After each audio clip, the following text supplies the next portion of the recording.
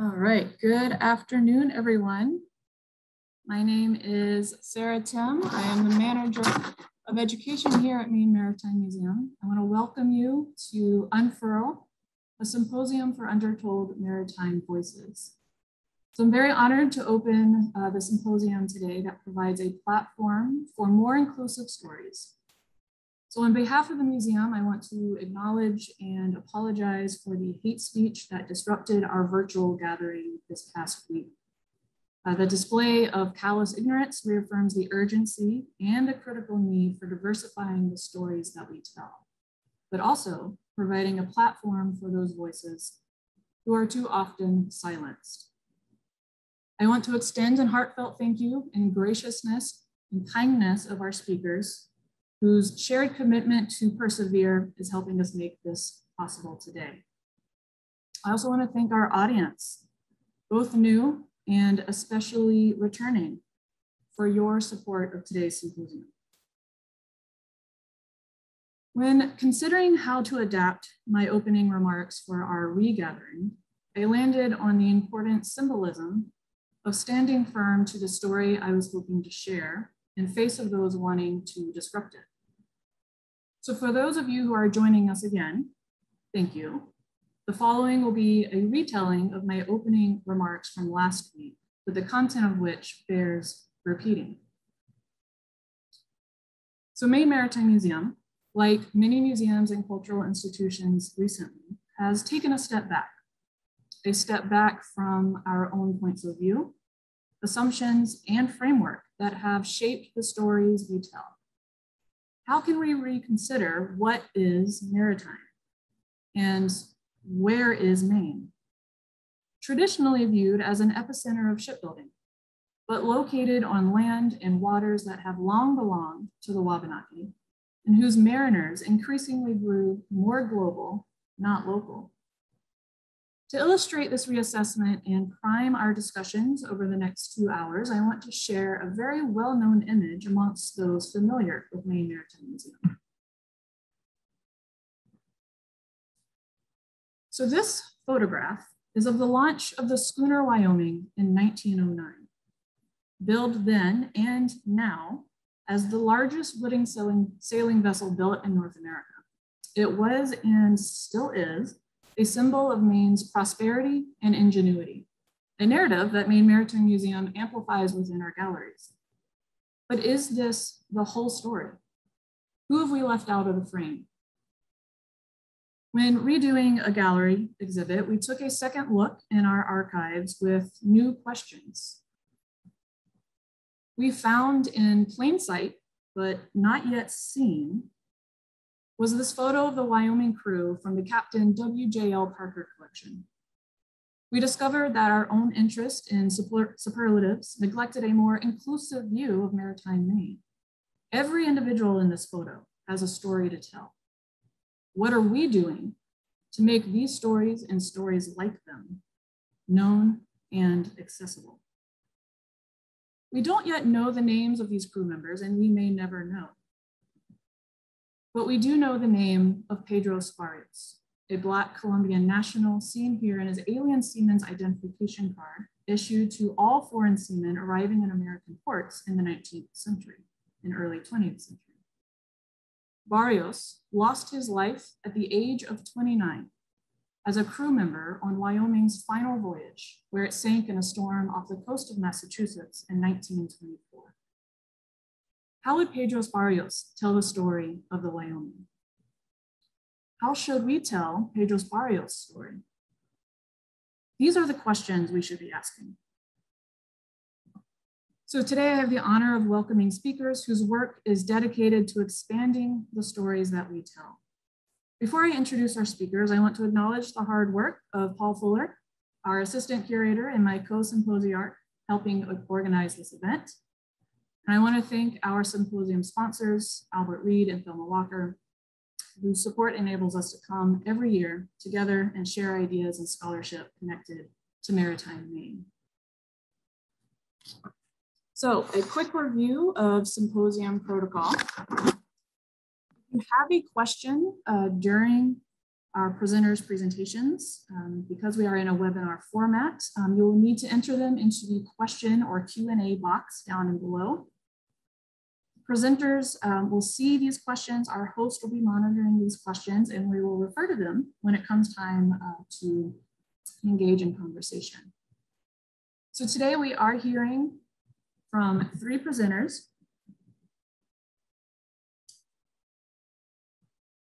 First up will be uh, Dr. Kim Long. We are going to wait for Chris Newell to maybe perhaps um, present in the last spot. So we're going to start with Dr. Kim, uh, Chris, sorry, excuse me, Kim Long, who is a scholar, scholar in residence for digital and cultural engagement in the Gibbes Museum in Charleston, South Carolina. She's also the executive director of the Low Country Rice Culture Project, and she'll share her work on the coastal foodways and African American maritime heritage. She'll be followed by Patrick Burrows, a historian and retired university administrator who will introduce us to John Brown Russwurm, a Black leader forged in Maine. So Dr. Long, I invite you to begin sharing your screen.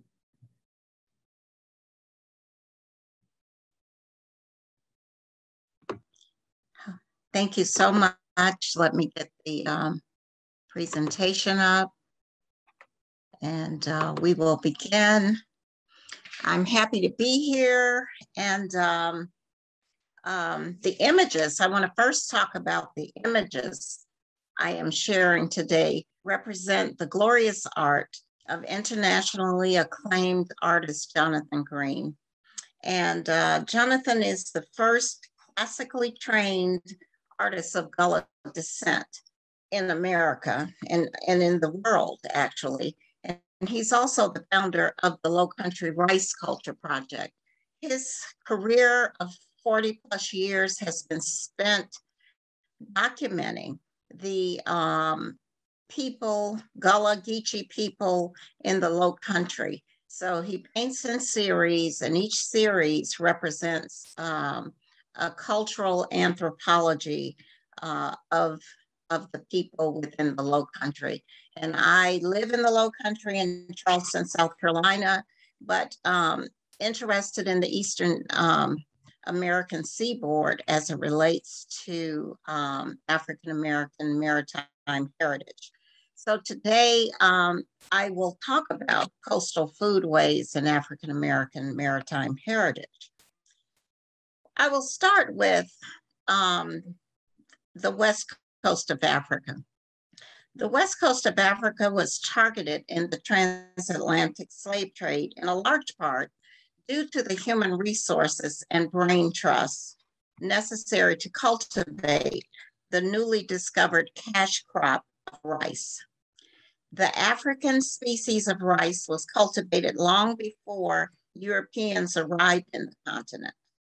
The Jola, a population of ancient rice growing peoples living in the swampy coastal areas of Casamance in southern Senegal, were of particular interest to Europeans seeking labor and enterprise to embark on this new enterprise of rice.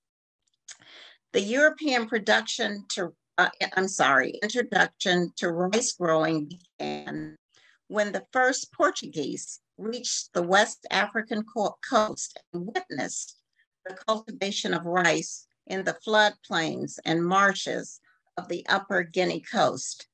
In their accounts spanning the second half of the 15th century and all of the 16th century, they mentioned the vast fields planted in rice by the local inhabitants and emphasize the important role this cereal played in the native diet.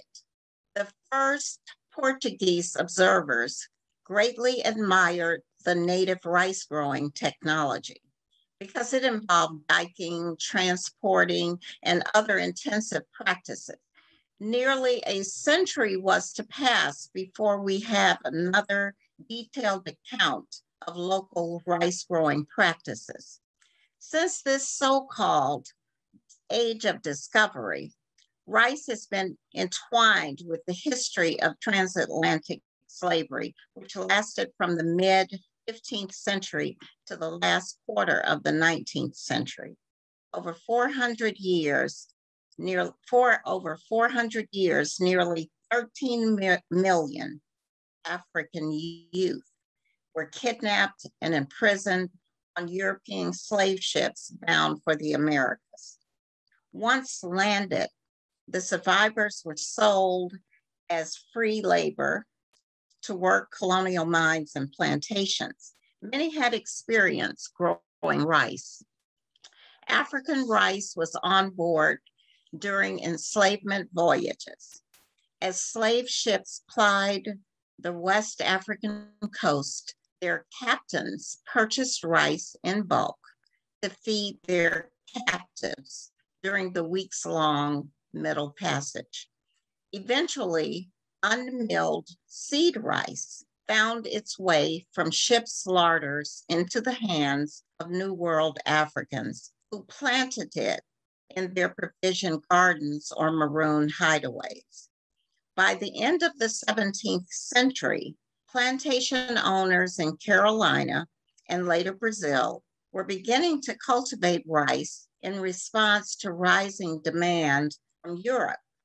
They grew African rice at first, acquired as leftover slave ship provisions, and were certainly tutored by the enslaved Africans already proficient at growing rice. The development of rice as a lucrative export crop cultivated on a, max, on a massive scale in the tropical and semi-tropical swamps and tide water estuaries of the Americas is also a story of African agency and know-how. Nearly all the technologies employed on New World rice plantations bear African antecedents, from the irrigation systems that made field, fields productive to the milling and winnowing of, of grain by African female laborers wielding traditional African tools. This? Uh,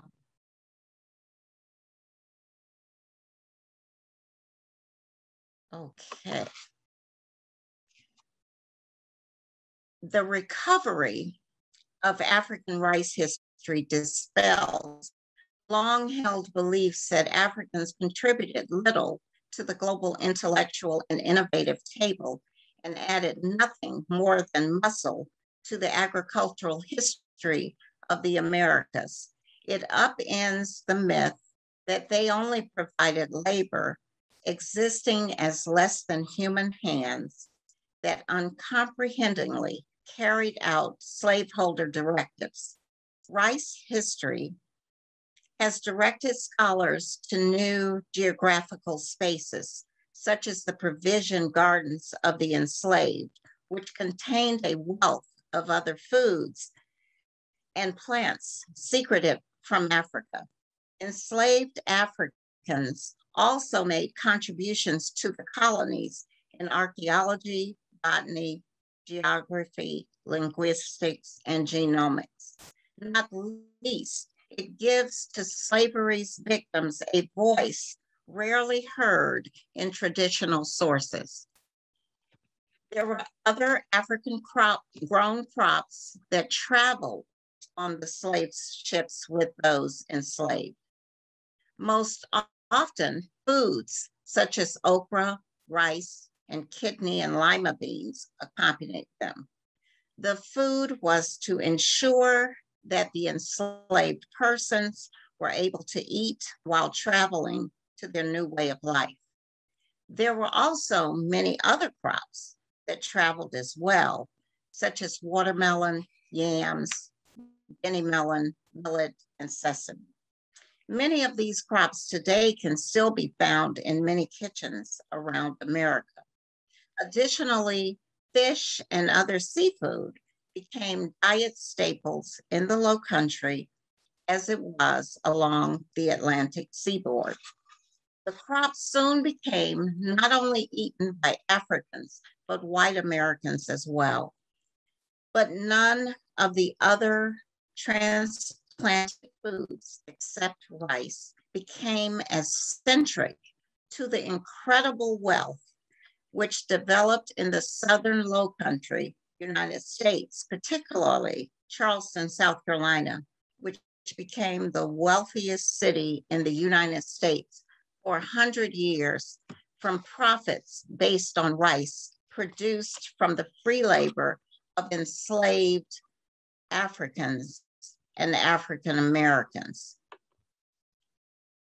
The relationship of rice growing in the low country coastal areas to maritime history and culture is rarely explored, especially as it relates to the economics of the Atlantic world and the integrated livelihoods and foodways of the people living in the 13 coastal colonies pre-Civil War. From the 1730s to the early 1800s, the golden age of, of deep water sailing ships, South Carolina's plantation economy thrived on maritime global trade and the hundreds of ocean-borne vessels that docked in Charleston each year to load rice and cotton for European markets. International trade spawned the wealth that built the grand historic homes and gardens of Charleston, Beaufort, and Georgetown. Charleston and the Low Country grew rich in the 18th century, largely due to favorable trade winds in the North Atlantic basin.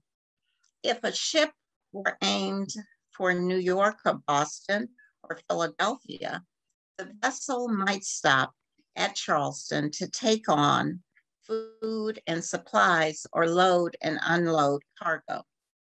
Charleston was a primary um, North American destination for English ships. After trading in Charleston, a ship would sail up to Cape Hatteras before veering northeast across the Atlantic to Europe. This transatlantic route, historian George C. Rogers pointed out, was a great circle and Charleston was on its western edge.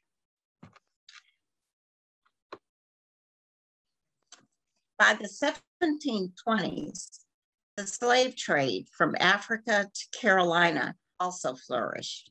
European ships traveled to West Africa where they picked up slaves and sailed for the New World. From 1716 to 1807, the Holy City, as Charleston is known, was the port of entry for an estimated 120,000 or more slaves, about 22% of all slaves legally brought into the North America. Ships from South Carolina carried rice, cotton, and other goods back to Europe. During the antebellum era, Charleston Mar Charleston's maritime trade spawned demand for slave um, artisans, including rope makers, carpenters, and shipwrights. In the years before the Atlantic Revolution, Charleston was the fourth largest city in British North America, but easily the richest. Its wealth dominated the rest of the raw Southern outback, with perhaps the exception of Virginia. Visitors were awed by the city's glittering society. South Carolina's maritime traders found dramatic success in the early 18th century after low country settlers discovered their most profitable cash crop, rice. The demand for South Carolina rice was greatest in Northern Europe. Most Americans were not rice consumers, so Carolina gold rice was produced for overseas markets. By the 1720s, more than half of the value of all of the colony's exports came from the rice trade. A decade later, 500 deep sea vessels a year sailed into Charleston's port to trade. In 1739, 18 privately owned wharves had been built from Bay Street into the Cooper River to serve the shipping industry. Charleston dominated the Southern coast politically and economically. Low country South Carolina was not a complete maritime society like coastal Massachusetts, Maine, Rhode Island, and Connecticut. Most South Carolinians looked inland and not to sea. In the Northeast, if you lived near the coast, your livelihood was connected to the water. Charleston was blessed with an excellent harbor that South Carolinians built and invested in very few seagoing vessels. Instead, they depended on ships owned by Londoners or Bostonians. New Englanders increasingly dominated American shipbuilding and maritime investing. Bostonians built vessel shares in the way that modern investors buy corporate stock shares. Settlers needed reliable vessels built for local conditions, quickly realizing that deep draft European ships were impractical in shallow waters behind sea islands in the low country. It was costly and time consuming to saw planks for small European style vessels. So they learned from the Native Americans how to use dugout crafts from the plentiful bald cypress trees along coastal waterways. The dugout was the Model T of colonial ships in the low country, especially, seemingly uh, everywhere and used for every purpose.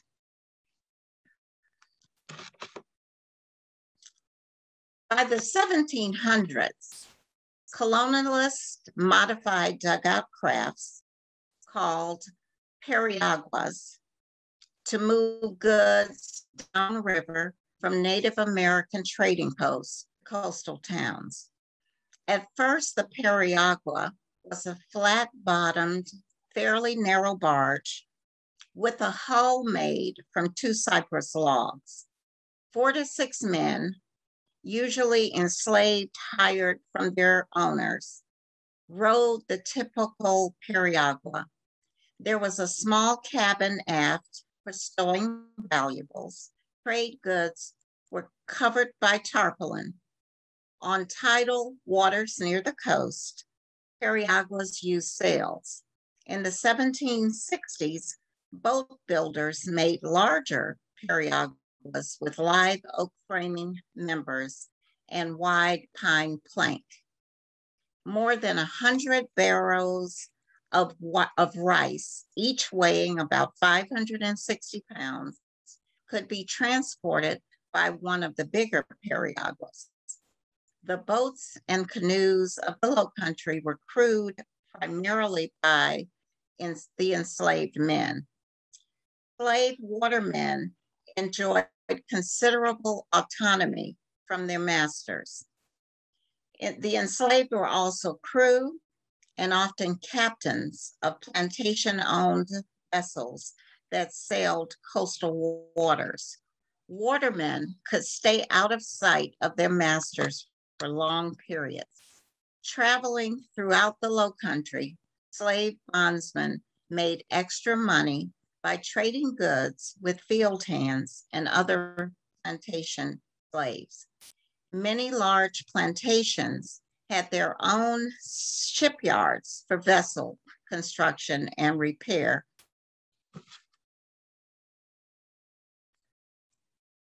By 1800, Charleston was steadily losing maritime trade to other cities.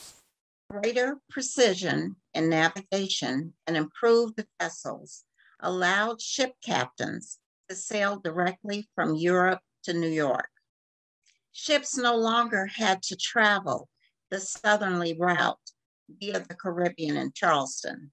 The faster transatlantic route between New York and Europe left Charleston out of the loop. Charleston was seen as a terrible port beginning in the 1840s. Its shallow harbor could not accommodate the new transatlantic steamships with the deep drafts. The most sophisticated shipping merchants and technologies were, were found in the north. About 60% of South Carolina's exports had to be sent in the coastwide, coastwise trade to New York, Boston, Philadelphia, and Baltimore, where the major transatlantic lines were located. The least industrialized major city in the Uni United States in the late antebellum years, Charleston, travelers noticed, lacked the verb and energy of other seaports. Low country planters held anti business attitudes, with the exception of agricultural commerce. A Southern gentleman made his money in agriculture and owned slaves. A gentleman did not own textile factories, thus benefiting from the South's leading export and hire white workers who could upset the order of a slave society.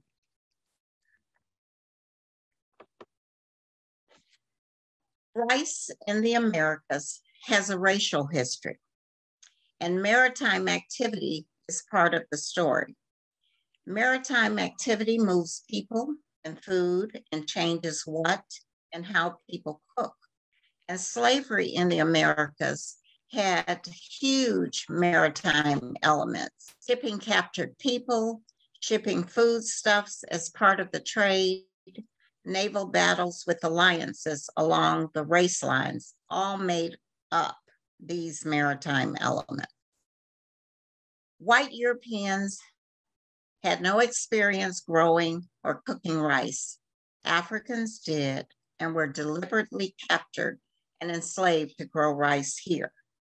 African American enslaved cooks were given European recipes and then they gave them an African twist. Free Blacks continued this culinary tradition. Then there is a variety of rice that reveals to historians, biologists, and genetics stories of the African diaspora. Few Americans, Black or white, recognize the degree to which early African American history is a maritime history. W. Jeffrey Bolster shatters the myth that Black seafaring in the age of sail was limited to the Middle Passage.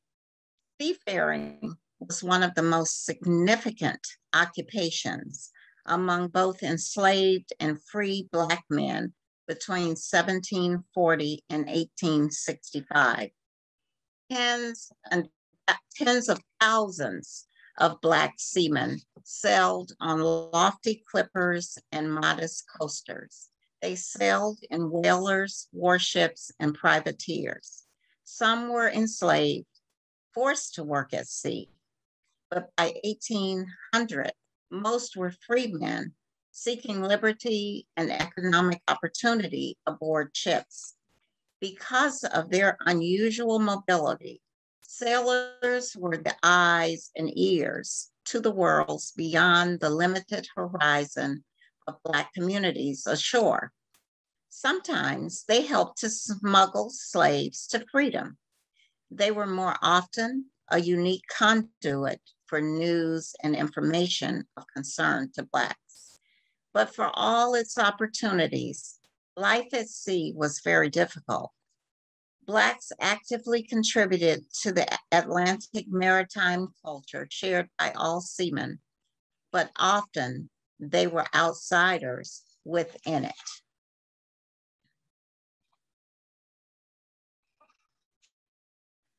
The mobility of Black seamen connected the colonies, helping to share important messaging, spiriting away those seeking freedom, and sharing their various talents in maritime industries. The influence of the sea on historical events on land has become neglected as a field of scholarly inquiry, rarely figuring in terrestrial historical causality. But this neglect is in turn part of a larger contemporary misconception about the past.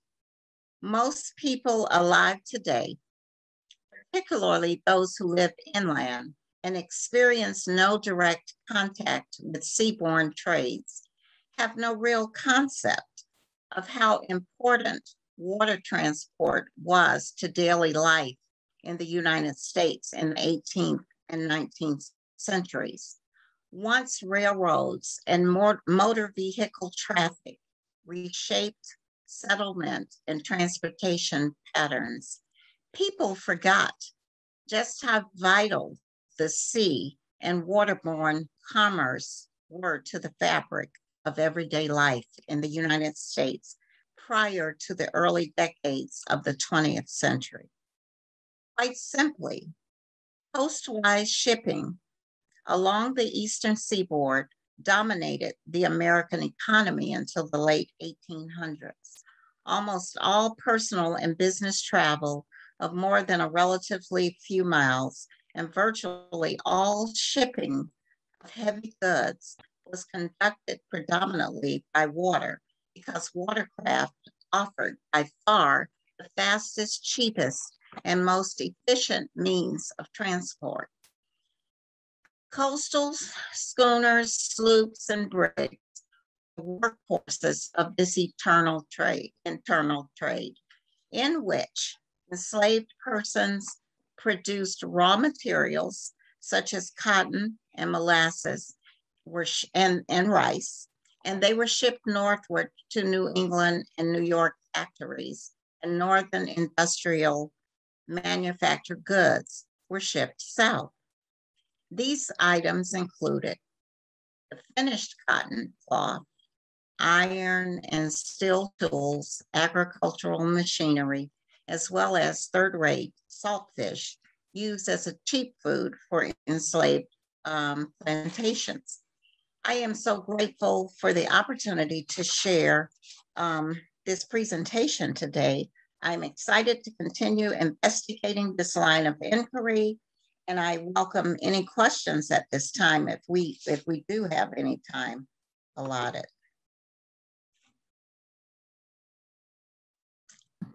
All right, thank you, Dr. Long, so much. Yes, please, if you do have questions, you can enter them into the Q&A field and we will, the panelists and I, uh, our host will see them and we'll, we'll ask them of our speakers. Um, but I do, Dr. Long, have, um, I don't know if it's a question or comment, it lies somewhere in between. Um, this, this importance of connecting kind of hyper-local history. So your, your work down in Charleston, really parsing out the economic connections, both um, with these plantations, but also kind of that, that economic infrastructure among the enslaved as well that's happening on these waterways. And then connecting that to another hyper-local history up here in Maine. So we often talk about, gosh, Downeasters that are taking grains to California or around the world. Um, and I'm just struck by this, the stat that I read recently that in 1858 in Charleston, um, on this particular day, 16 of the ships in port, 15 of them were from Maine or, or had Maine owners. Um, so it's just an importance of kind of reconciling these very hyper local histories and able to kind of be aware of the complexities um, for particular peoples whose histories aren't well known. So I, I would love to hear a little bit more um, if you could speak to this concept of these kind of enslaved captains on, on Charleston's waterways. And, and um, oftentimes we, I think myself, I'm guilty of thinking that the products were produced um, by enslaved uh, peoples and then put on ships and that's done. But there's this whole other culture of enslaved people um, that I wasn't aware of. So I'd love to learn more about that. Well, the plantations themselves, okay, so each plantation was a, a microcosm of a small city where everything was um, internal to the plantation except for production of some goods and of course services. So if you've ever been to Charleston, Charleston is um, the, the downtown area of Charleston is a peninsula and uh, surrounding the peninsula are many islands and inlets and waterways um, and the Cooper and Ashley rivers are the main water arteries, and as well as the Atlantic Ocean. The people of Charleston were so arrogant early on that they say the Ashley and the Cooper rivers meet to form the Atlantic Ocean. Um, so this this rich, uh, fertile marshland with all these inlets, well, they, they provided the transportation system from one plantation to the other. So the enslaved um, bondsmen were given the latitude to carry these goods and services from one plantation to the other, or perhaps all the way over to the peninsula. Um, as a result, the Underground Maritime, um, the Underground Railroad, Maritime Underground Railroad was prevalent because they could secret away people um, um, by water and help them, um, the freedom seekers, escape. So long before uh, the train system was developed or other forms of transportation, the waterways were uh, the busy highways for moving for commerce and moving goods and services. That's, that's fascinating. Um, I have so many questions, but I'll save it for the, the panel later. Um, I do want to, we have a, some questions coming in from the Q&A. Um, I think one I'll save for the panel as well, but uh, this next one, uh, do you feel this history is uh, taught in your local school systems? And to follow up with that, um, if not, is there efforts to include it? Um, I don't think that the maritime aspects of the history is taught in the local schools. And we're working from the museum's point of view to instill that into the curriculum. I had the opportunity to um, serve as one of the editors for the uh, required social studies textbooks for the state of South Carolina. And we certainly emphasize the maritime attributes in the new textbooks that um, went into classrooms this August. Um, but prior to that, no, there had not been, um, and we're still fledgling in terms of exploring the water time, uh, the maritime, and the um, the transport water transportation in terms of commerce in the low country. As, as the history and as I spoke to uh, during my presentation, the, the, um, the planter class looked inland. They didn't think about, they knew water was a necessity to move the goods and, and services, but they didn't see that as their, their money making uh, asset. And, um, and so that is how history has been perceived around the plantation structures. And, and actually, my um, research started with the rice culture and the cultures emanating off the plantations um, as it was as it uh, relates to the influences for contemporary times. But now we're realizing we cannot, we can't do that without the maritime aspect. And so I think um, post Civil War, the colonies prior to the Civil War were dependent on one another in terms of how they allocated um, industry and commerce. And um, post Civil War, um, became this this um, north and south aspect of commerce, and so um, we're we're exploring more about that maritime heritage here in the south. Oh, very interesting. Uh, so many more questions. We do have some questions coming into the Q&A. We'll hold those off in the panel where we can have a deeper discussion.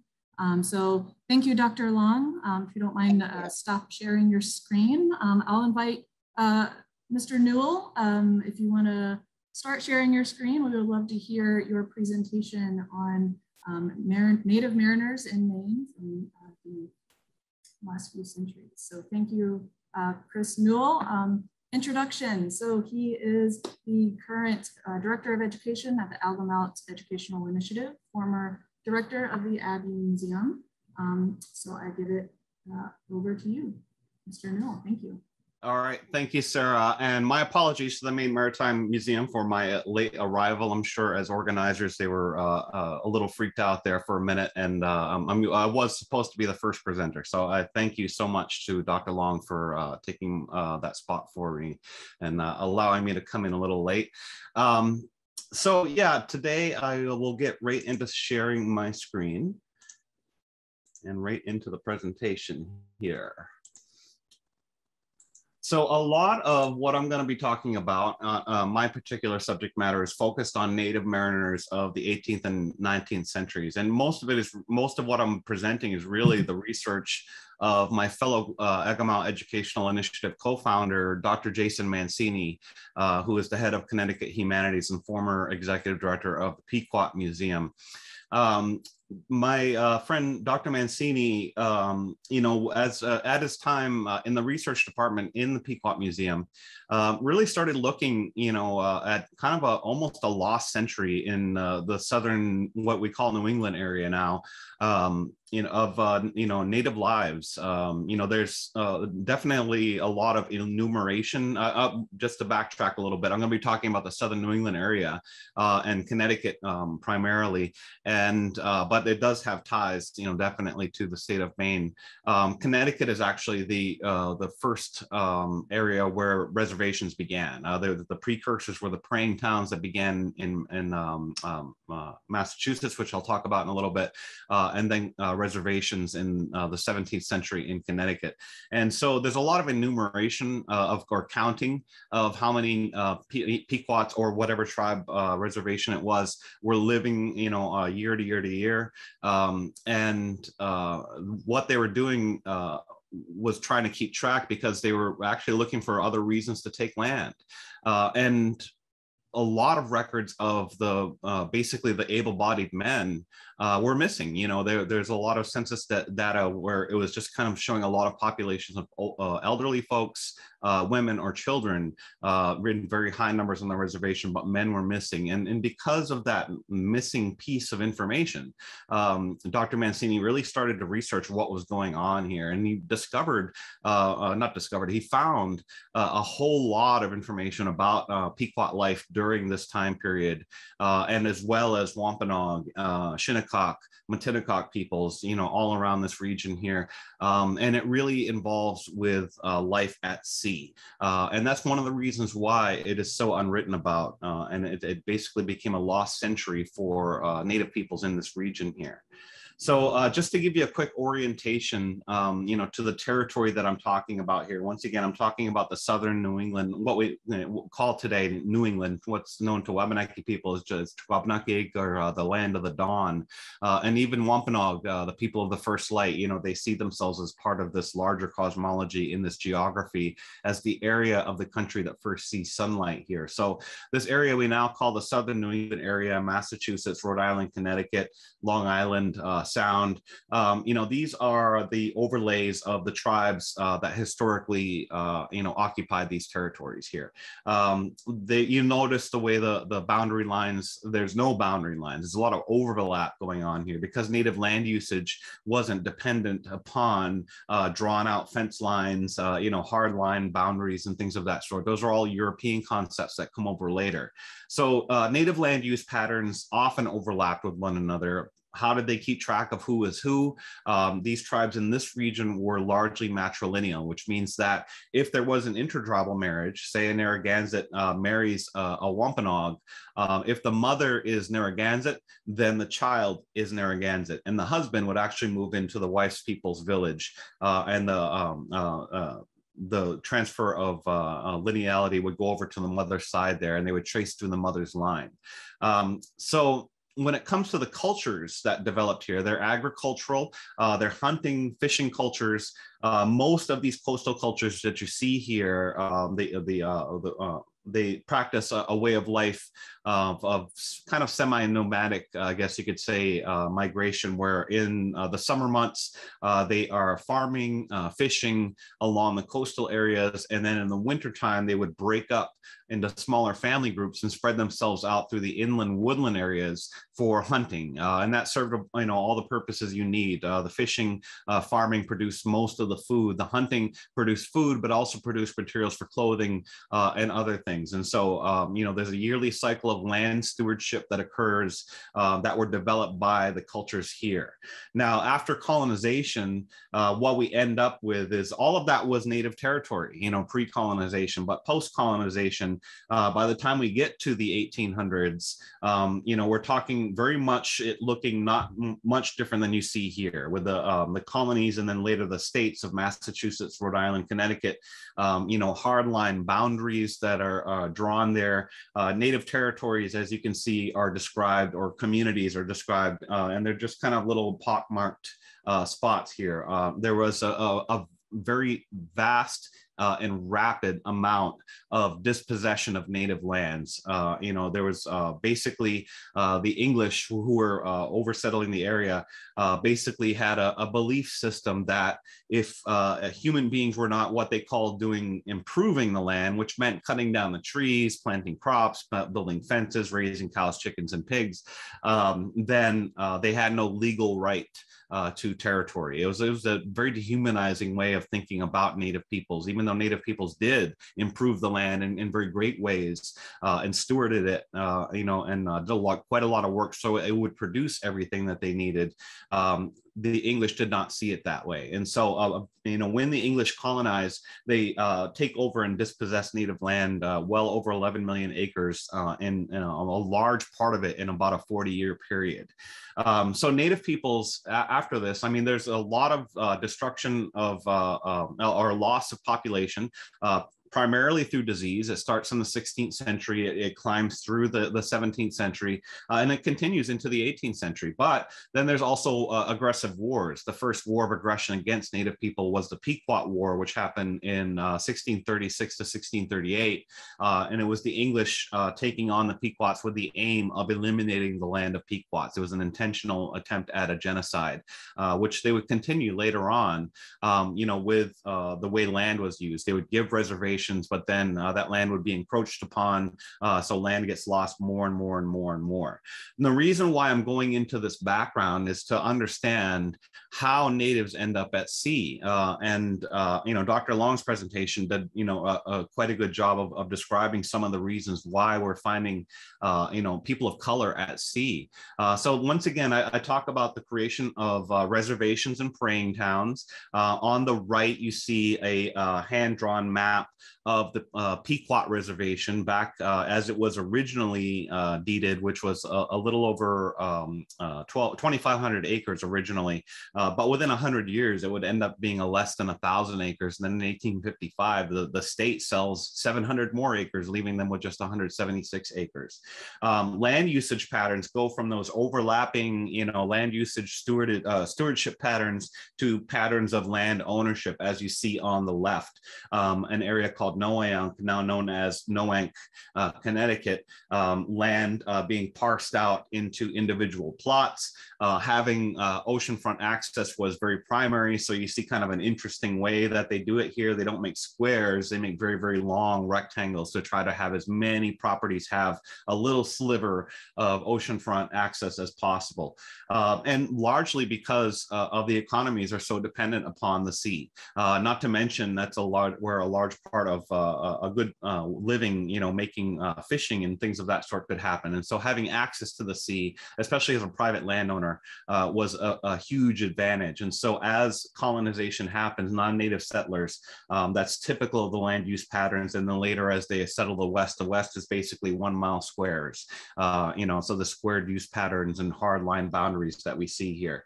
Um, the economy changes. Native people would li were living under a subsistence economy economy. Uh, but now, under English colonization, are now uh, seeing the land clear cut. Uh, all of the trees, you know, uh, basically all of Connecticut and, and Massachusetts, Rhode Island have been clear cut historically.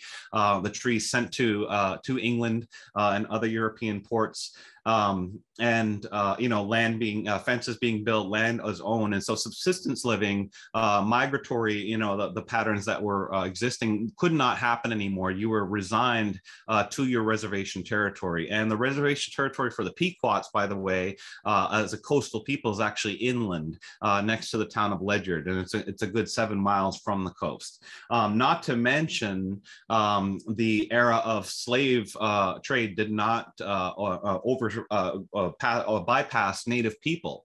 Um, and so prior to uh, the 18 century, you see, um, or, or, uh, sorry, in the 18th century, you see uh, uh, native slave trade still occurring. Uh, you know, that started back in the 1500s, many of them going to Europe. But as colonization happens, they tried to make tribes that were defeated in war, like the Pequots, into slaves. But what they found out was that they would not be, uh, uh, you know, choose to become good slaves in their home territory. So they were being shipped off to the Caribbean. Um, and there's still a remnant community in Bermuda called the St. David's Islanders, who are all descendants of native peoples from the southern New England area that were shipped off as slaves. So life on the mainland for native peoples was an extremely difficult thing to you know you were resigned to a small area at not enough uh, land uh, to live off of subsistence. You start to have to do things like make baskets and sell them or hunt things like snakes uh, and sell uh, the, the, the skins and things like that. Um, and there's only uh, so much land that you have. So it was really a, a tough proposition to stay on land to try to make an economy and so what ends up happening is many of um, the younger men start to get involved mainly in the whaling industry. You know, so as uh, um, Dr. Long uh, kind of uh, uh asserted, uh, there was a lot of slave labor, uh, especially in the 17th century. but as we get into the 18th century, we start to see a lot of people of color taking part in um, the whaling industry actively on purpose. You know, they're, they're because the whaling industry afforded um, a, a merit-based economy economy. It did not matter what color your skin is on a whaling ship. It matters what you know and what you could produce. So Pequot mariners and other mariners, Wampanoag mariners, could rise from cabin boys all the way to captains on these ships. Um, so it was a great way to make a, a, good living. And so many of them start to take part in it. Um, and so what ends up happening uh, another thing that happens as well too is that um, uh, uh, to to uh, once again dispossess more land, many native peoples were uh, oftentimes written about, especially the men, uh, you know, written about at, in the local papers as runaways, deserters, notorious villains. So if they were an indentured servant or something like that, that's what you're seeing as the headlines. Crispus Attucks is a great example of somebody that ends up at sea who was an escaped a slave slave, um, you know, and had an advertisement put out for him, you know, and then made, you know, uh, uh, disappeared, you know, from the record books for a while because he was at sea. Uh, there's a reason why. Um, at sea uh, or on the docks, life was much different. It was all about, you know, what could that economy produce for the world, right? For everybody. And so uh, the workforce was needed. Uh, and so we see large numbers of Pequots and Wampanoags and Shinnecock peoples all throughout this region here, you know, uh, getting um, uh, the permitting processing done to become whalers, uh, you know, full, full, uh, uh, full on whalers and make uh, full livings at it. Um, so um, that's one of the, the, the, biggest changes. Now, one of the things that Dr. Uh, Mancini found was that, uh, especially with the Pequot mariners that he was researching, or Mohegan mariners, uh, is that they were traveling the world. So uh, not only are they making an income, um, they are traveling all over the Atlantic. Some of them are going to the Pacific. Uh, you know, they're ending up in places like New Zealand, like Point Lay, Alaska. They're going that far away. So their worldview is changing very, very drastically, uh, you know, as they see this happen. And, uh, you know, uh, that that's another big thing that happens is it really helps the communities to survive uh, the era of the reservation period, and both for the economics that were being brought in, but also for the education that was happening about how the world was being run. Uh, and then when you think of the story of Crispus Attucks, you know, who was, uh, you know, one of these notorious villains or, or sorry, deserter or runaway Uh, at one point um, how did he end up becoming, uh, you know, being at the Boston Massacre and uh, end up, uh, you know, holding the flag on the side of the Americans? Well, I mean, his background is he was multiracial, um, and uh, you know, when he came, uh, he grew up uh, um, next to, as a slave, the Natick praying town. His mother was a member of the Natick praying town, um, and after escaping slavery in the docks, you could you could escape basically because it was a whole different world. Um, you know, he goes out to places like Cape Verde uh, and and, uh, and other uh, places around the world uh, and sees what uh, these economies, this shifting economy, is doing for the rest of the world and what America is, you know, uh, the potential is uh, but uh, they don't have under British rule. Uh, you know, and so that really radicalized him in a lot of ways, uh, saying that you know he wasn't really fighting for uh, the the, um, the, white Christian landowners at the time. He was fighting for the freedom of himself and people like himself. Uh, you know, in, in, a very very real way because they saw what was happening in the rest of the world and knew that it could happen in America. It didn't quite work out that way, sadly. you know, in reality, but that's one of the reasons why we see a very very big change. And Pequot mariners, you know, take part in this as well. And it happens for well over 100 years. And through Dr. Mancini's research, um, you can go to the Mystic Seaport Museum. You can look at interactive maps. This is just one example of uh, the maps that they have available. And uh, this is the voyage of the ship Connecticut. It, uh, the, this particular log begins July 26, 1832 uh, and ends March 31st, 1833. Uh, goes through much of the uh, South Atlantic and the, he's tracking um, um, the crew members, Benjamin Uncas, who was Mohegan, Elisha Apes, uh, Charles Brayton, Mashantucket Pequot, uh, and uh, Joseph Fagans, who is also Mashantucket Pequot. And um, then there's uh, other ones that you can see as well. And then there's also what they have, a, a tool that they call story maps that uh, allow you to see the records of these mariners on land. So not only uh, can you look at where they were, what they were doing in the logbooks, where they were going to, to, to whale and all of these types of things, what ports did they hit?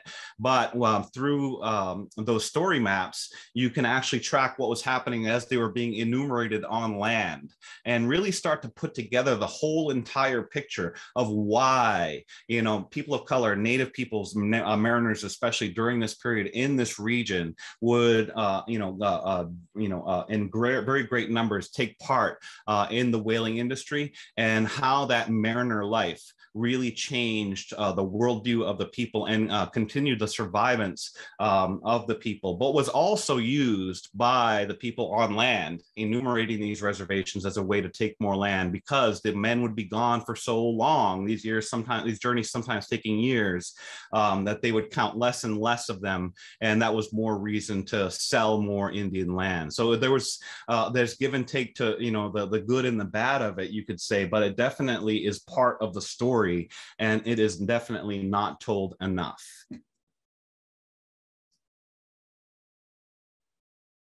All right, thank you. Uh, thank you, Mr. Newell. That was um, great. Do we have any questions coming up in the chat? Let me just check. Yeah, as you guys are thinking of your questions, um, one that came to mind for me was, I know in a lot of indigenous studies, you kind of fight this narrative of erasure. Um, your history didn't end, you know, in the 17th century, 18th century.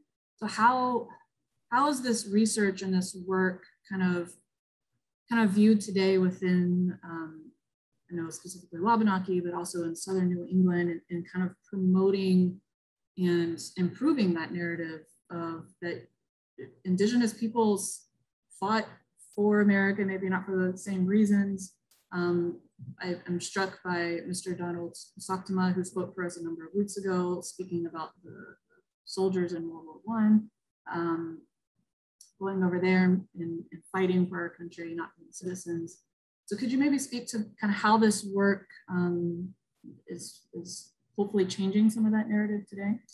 Yeah, absolutely. I, I mean, once again, I, I, talk about that century as if it's a lost century because, and it really is, uh, because the American conservation movement is born in the 19th century, and what they started to collect and record at that period was tribes that they felt were, you know, more authentic. You know, so it was non-native people authentic, authenticating Indianness, I guess you could say, um, and they were basically collecting from Western uh, tribes and Southwestern tribes. So that's why in a museum in Boston, if you go to see the art and go to the, the Native North American wing, you will see uh, basically all, um, you know, uh, Western art, uh, beadwork, uh, Southwestern pottery represented, but you won't see any of the wampum artwork that is being created, the ashland basketry that, that you see, uh, you know, that became part of the market economy and that became fancy basketry into, you know, the items that you see sold there that became a very, very high level art.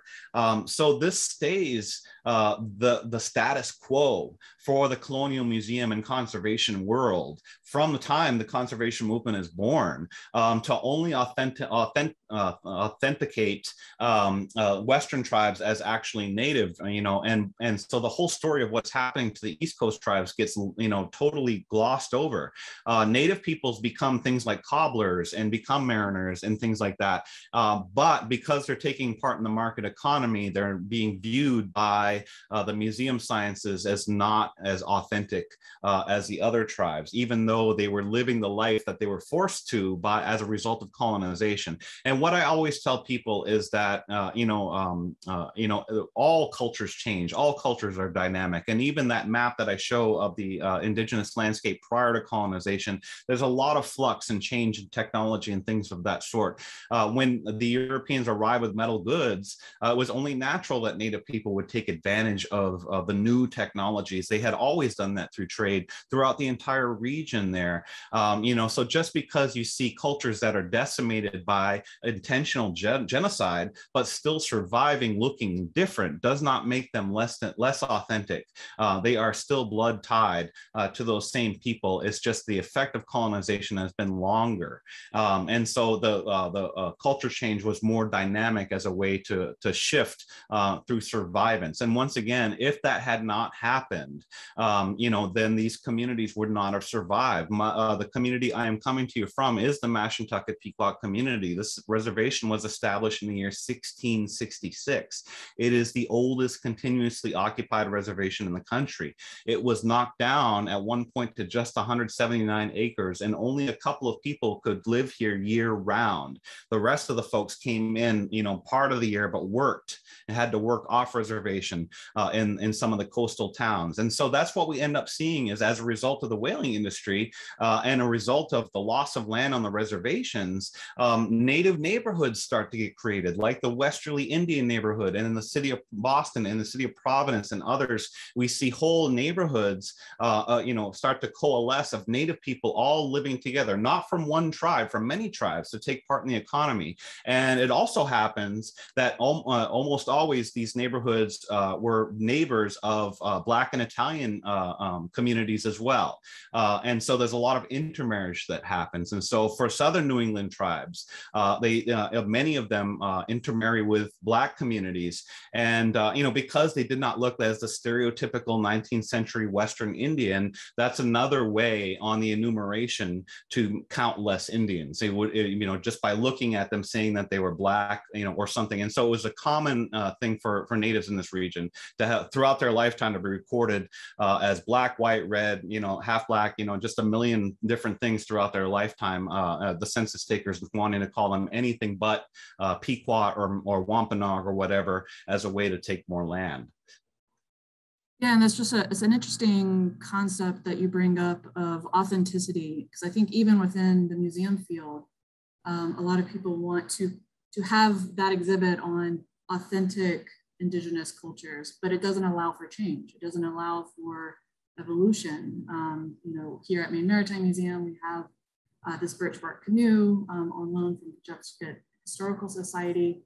And we, we, that's kind of what we grapple with is what's, what important stories are there to tell both in terms of its history, because it does date to the 18th century, but how do we make that story not I guess cliche for last lack of a better word, and allow mm-hmm. for for these cultures um, to evolve. And yeah, yeah. And and I like to use those words like technology, especially when I talk to kids, because when you say that word to kids, they think of iPad screens and things like that. But the birch bark canoe, um, you know, is the reason why the wheel wasn't invented in the Northeast, because you know, invention, uh, necessity causes invention, right? The wheel, you know, build you get carts, you have need something to pull them, you need uh, you know uh, animals to do that. You got to build roads. You can't just take them over, uh, you know, especially in the Northeast here with the uh, the our landscape. You can't just take them over land. Um, you know, so the high, the, the highways were the rivers, uh, especially throughout the Northeast. And you can make journeys of a thousand miles from the Gaspé Peninsula all the way down to Long uh, Island Sound. And people knew that and had it all mapped out through songs and stories.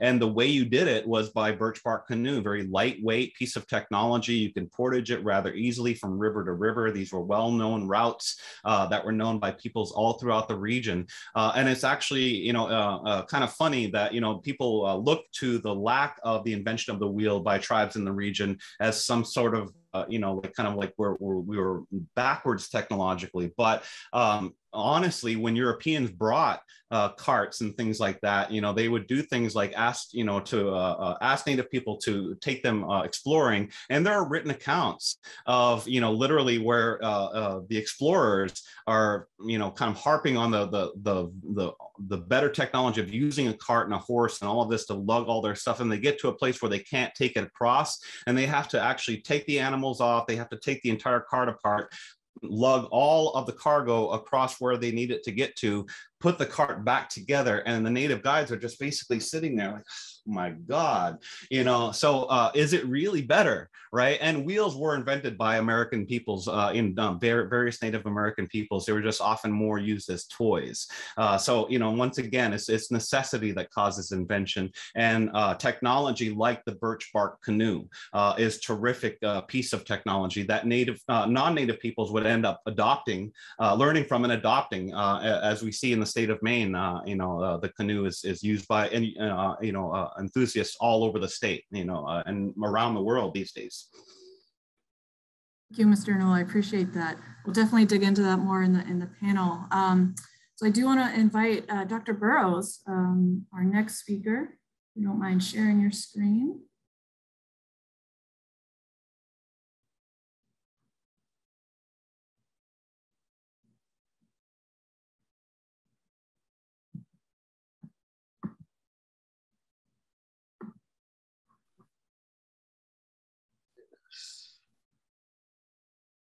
Uh, what do I do? Trying to share my screen.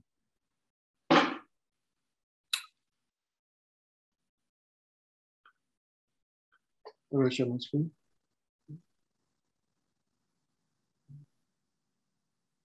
Oh, there we go. Yes.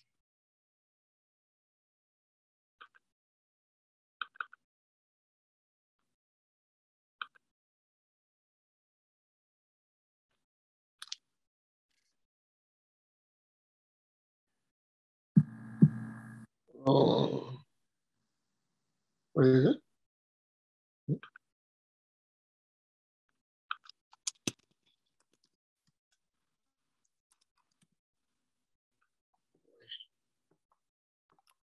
Okay. Screen. Yeah.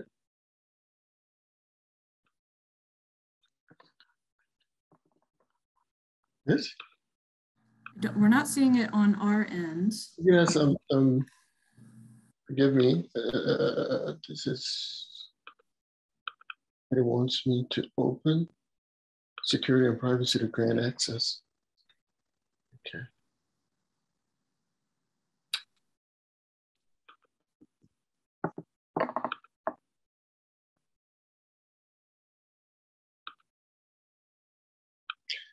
So Sarah, uh, are you able to? Yeah. Well, all right then, we'll, we'll do that. Uh, appreciate it. Yeah, no problem. Yes, so um, thank you, Sarah, for the invitation and um, really glad to, to join you this afternoon. Um, I wish I really were in Maine uh, right about now. Um, the picture that's up on the screen is from my last visit because um, my kids and I go up there, you know, as often as, as, as we can. My introduction was when I went up to do research on um, John Russwurm and, and fell in love, you know, with the, the local culture. Um, and so my presentation today is on John Russwurm, who I refer to as a child and a citizen of the Atlantic. Um, next slide, please. So we can move on. Next one. So Russwurm was really iconic in the 1800s. If you go online and do a search for the last name, Russwurm, which is a German name, you'll find that John Russwurm comes up more frequently than any other. So um, the name is more widely associated with this man who spent his childhood in Maine. Uh, he graduated from Bowdoin College in 1826, uh, the second or third African American college graduate. Uh, and uh, he earned a master's degree as well. He then moved to New York City, where he co founded the first Black newspaper, Freedom's Journal. Next slide, thanks. So I want to share a riddle with you before I get into my presentation and it's a quote. It says, I have nine children. My wife has 11, but 13 all counted. There are four boys or sons, none are full brothers.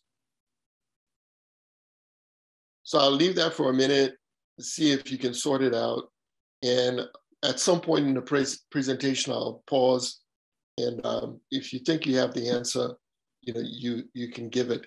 This quote is from Russwurm's stepfather, and I'll introduce the family in a, in a minute.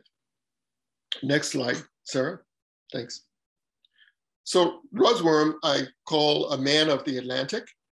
Um, during his lifetime, the uh, just as you know, er, my, the earlier speaker was talking about people using the riverways um, of uh, New England to travel by canoe. The Atlantic was that broader, you know, uh, waterway uh, that connected different continents uh, in the, the 1800s. So Russwurm was born in Jamaica in 1799 uh, to an American father and a Jamaican woman, uh, black woman. His dad adopted him and um, legitimized the son who was born out of wedlock, uh, gave him his name, and um, moved him from Jamaica to Quebec to go to school. And then John comes to Maine as an adolescent, ends up in New York as an editor. Along the way, he taught high school and lower level schools uh, for Black students in Philly, New York, and Boston. And then he ends up in Liberia in West Africa as a governor of a colony set up by um, the State Colonization Society of Maryland. That colony was called Maryland in Africa. And as you can see, his life kind of circumscribes the Atlantic. Next slide, please. So John's father moved from Jamaica to Portland in 1806. And he's listed in the literature as an attorney, a manager, uh, and a merchant. And he establishes himself, he moved from Portland, Jamaica, I should say, and he establishes himself in Portland, Maine in 1812. His mother was described as a Creole woman, or in some places, a colored lady, from a very respectable family. And it said that she was the source of the real estate his father held while he was in Jamaica. Next. so John R. Russwurm, uh, that would be John Brown's father, was engaged as a merchant. He acquired um, 75 acres in Back Cove uh, and uh, married Susanna Waterford in 1813, about a year after he had moved to uh, Portland. She was a widow with three children. And sh- shortly after, it was found that she was expecting a child after her marriage to, to John R. And that son was named Francis Edward Russwurm, and he was born in 1814. Next slide. So here is the Russwurm family home, which is on the historical register, and it's at Ocean Avenue, Portland. Uh, the current owners were really generous when I visited. They gave me a tour, uh, moved around in the interior of the building, and uh, you can tell that you know this was a, a home of owned by someone who was very successful. It, it was a luxurious um, space. Uh, the knobs on the doors were coated with porcelain in some rooms, the rooms that were public facing, like the living room, uh, whereas the other spaces were, the knobs were more basic. Next slide.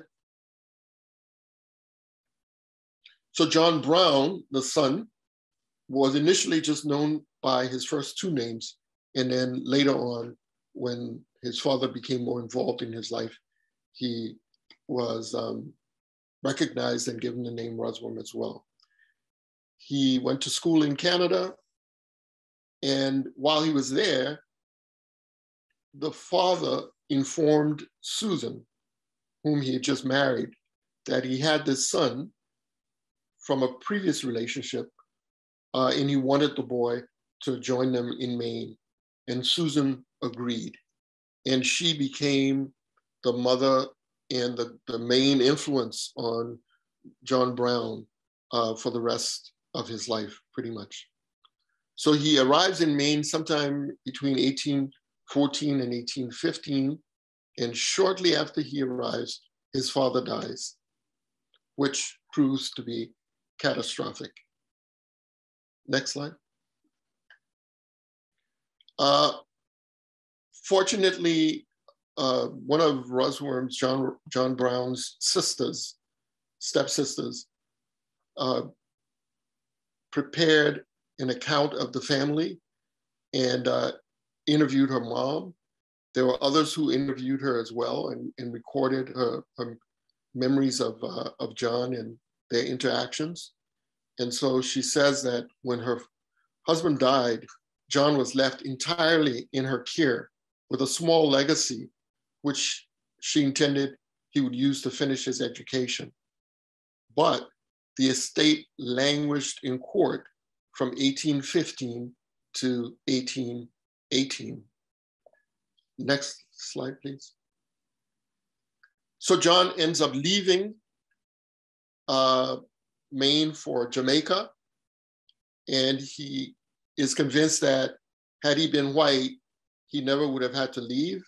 At that point, he despaired of, of getting uh, the father's legacy. He was hoping some of his father's friends would have supported his um, education. Susan remembers his stepmom, quote, the sorrow he expressed at parting with her children, particularly his infant brother. Next slide. So William Hawes now marries Susan. He is a widower with two children. Together, they ended up having six children. John returns to Portland from Jamaica He's embarrassed to come back to the family. Uh, he's living in a community where most Blacks in Portland uh, were congregated, and uh, many of them were involved with um, shipping in some form or the other. When William Hawes and uh, Susan realize that John is in town, they get word that he is. William invites him to join the family, and he does. At that point, William Hawes is working at a paper mill on the Royal River. Next slide. So that's the answer to the riddle that uh, William Hawes would recite oftentimes at work and, and to others that he, he interacted with, and he would ask if they could figure it out. According to Sarah, uh, John's stepsister, the 13 children all lived as one family, pleasantly with each other. She said, I never heard father or mother, I never knew father or mother to strike one of the children. A mild reproof was the only punishment. Next slide. So at this point, uh, Susan asks Calvin Stockbridge to serve as guardian for John. Stockbridge was from a prominent family uh, in, in Portland, family that dates back to the Mayflower. He co-owned a, a paper mill and he and his brother were very prominent uh, Baptists. He was a delegate to the Maine convention and uh, a Mason. Next, please. So between ages 19 and 24, John attends a Hebron Academy. It gets destroyed by fire. So he leaves Maine, teaches at a Black school in Philly, the African Free School in New York, and the African School in Boston. And then he returns to Maine. Next slide. He then enters Bowdoin College and he's there between 1824 and 1826. The curriculum at the time included solid geometry, Latin, Greek, and philosophy. Uh, students were expected to have daily prayers and recitations before breakfast. And among his schoolmates were Henry Wadsworth Longfellow and Franklin Pierce. Nathaniel Hawthorne was also a student um, at the time. Next slide, please. Horatio Bridge, one of his classmates, re recalled that Russwurm lived at a carpenter's house just beyond the village limits. And he said that he and Nathaniel Hawthorne called on him several times, but his sensitivity on account of his color preventing him, prevented him from returning the calls. Next slide. John graduated in 1826, and uh, remarkably, he was invited to give a commencement address. Um, according to a news report on the commencement, quote, the beauty and fashion, prejudice, and power of Maine were present for the occasion. John chose to speak on the condition and prospects of Haiti, which was very controversial at the time because um, the Haitian Revolution had sparked a lot of anxiety and fear, uh, especially in the South. He said that initially he seemed timid, but then eventually he launched into what the writer called a full and manly tone with appropriate gestures. Extracts of his address were carried in at least eight uh, papers in the Northeast. Next slide. So a year after graduating, John is in New York and he co-founds and launches the first Black newspaper in America. And the first editorial in the paper said, quote, we wish to plead our own cause. Too long have others spoken for us. Too long has the public been deceived by misrepresentations in things which concern us dearly. Next slide. But by 1829, two years after the paper was launched, John decides to fold it, to close it, and he opts to immigrate to Liberia. He, in a farewell editorial, says that in Liberia, quote, we may not only feel as men, but there we may also act as such. He deplores racial prejudice in the US at the time as much as any man, but he said, quote, they are not of our creating and they are not in our power to remove, end quote. Please, uh, next slide. So the colony of Liberia was founded in 1821. In fact, uh, December of this year will mark the 200th anniversary of its founding. And uh, the initial population was a mix of indigenous Africans, US repatriates, and recaptives, people who were liberated from slave ships. So it started off as a settlement of a few hundred acres and then gradually grew over time. And the Liberians declared their independence in 1847. Next slide. In Liberia, uh, Russwurm went on to an equally uh, illustrious career. He founded the Liberia Herald in 1830, Liberia's first newspaper. He served as secretary of the Liberia colony, and then he was appointed governor of Maryland in Africa. There were several small colonies along the coast of West Africa that were operated separately from Liberia. And he was the first Black person to serve as governor of any of those colonies. After he died, a few years after, Maryland and Africa became a part of what is now Liberia. Next slide. Thank you very much. Uh, that's a brief overview of uh, the story of John Russwurm, and I'm glad to take any questions or comments you might have. Uh, thank you, Dr. Burrows. Um, again, yes, please enter your questions in the, the Q&A panel. Um, I have a question.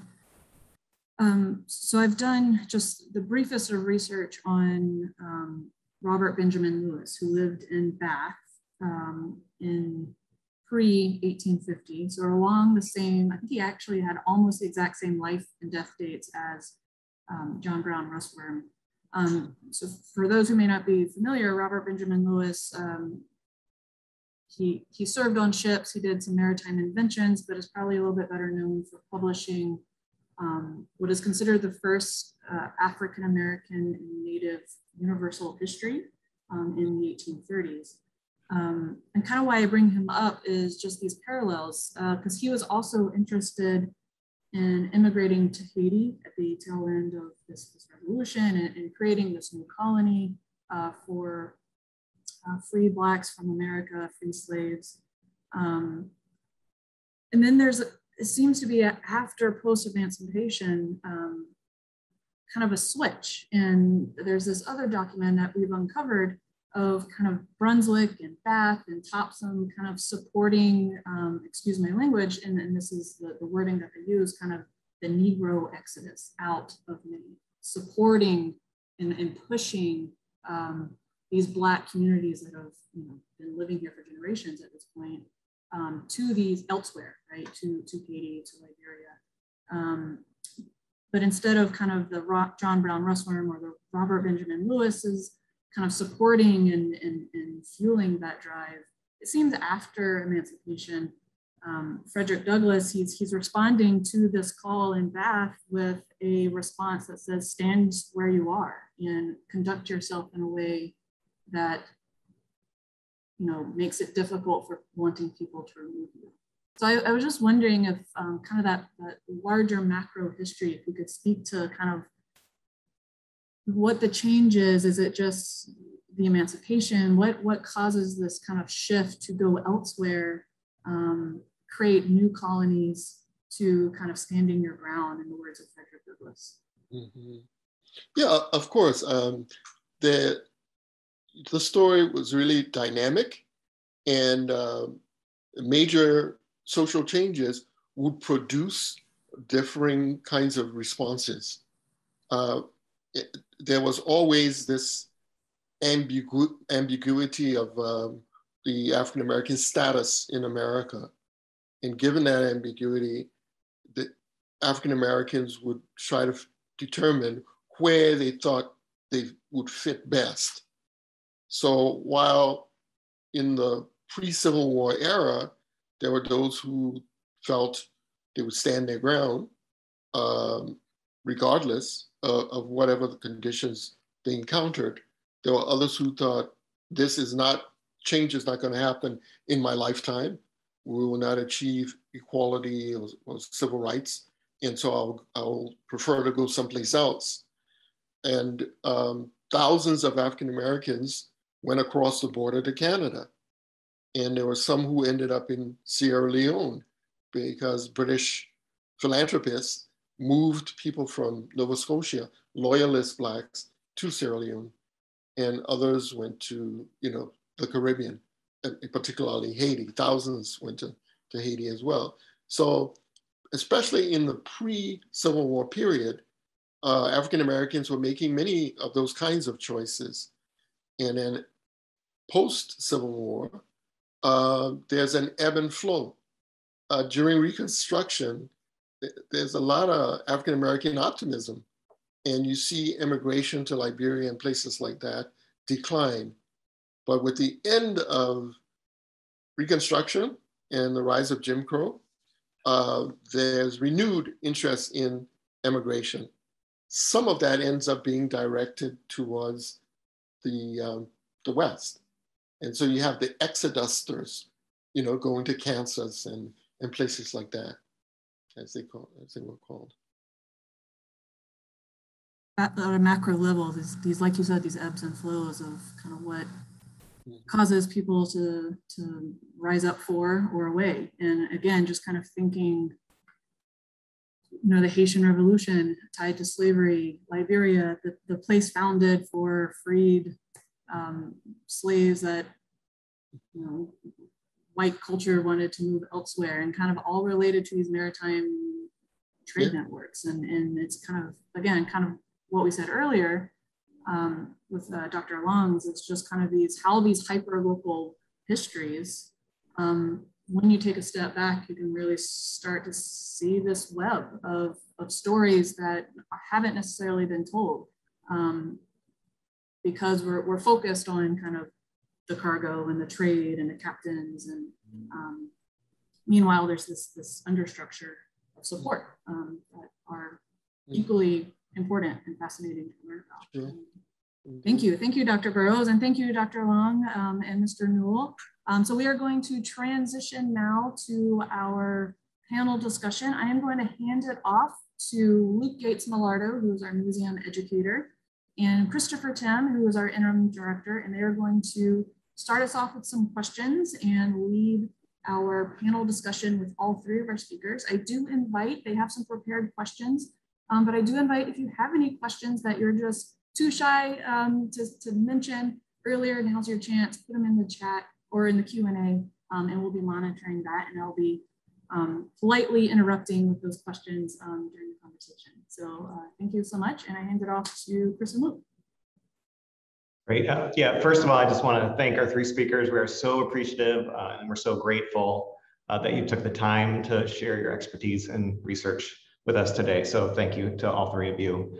Um, so as Sarah said, we'd like to open up for kind of a panel discussion amongst uh, the three of you. Uh, to get us started, Luke and I have a few questions from our staff, uh, a few others that we've been kind of receiving in the Q&A throughout this session. Um, and attendees, please feel free to keep those um, coming as well. Um, so I guess one thing I, am interested in is what kind of challenges you've encountered at museums and research libraries as you've been doing your work that is maybe kind of specific to your topic, your own research, maybe your methodology.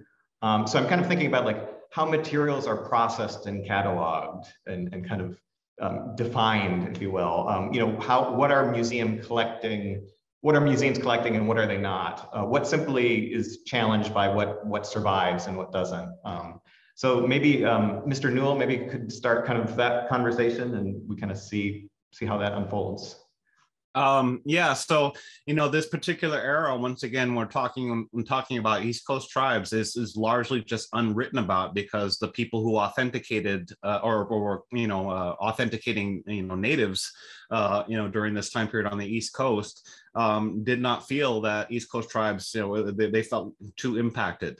Um, and so when you go and, look for records uh, uh of this sort, they just they're they're kept in in a, a almost like a, a different world uh, in a lot of ways. Uh, and so, uh, you know, the way Dr. Mancini stumbled upon this was he was doing family research. He was researching family lines. Uh, and uh, the Mashantucket Pequot Museum is close to New London, Connecticut. New London at one time was the second largest whaling port in the world um, and was tracking down and found out that one uh, family member that he was researching, um, you know, had a tie to the port at New London. And when he went down there, he discovered that in one year, they had issued as many as a thousand uh, of the safety permits that are required to go out whaling to native mariners from that one port uh, in that particular year. And that all of a sudden opened up, uh, you know, a whole world of, of what is out there. But he's had to reconstruct this you know, bit by bit, piece by piece. He is, you know, when you see those logbooks,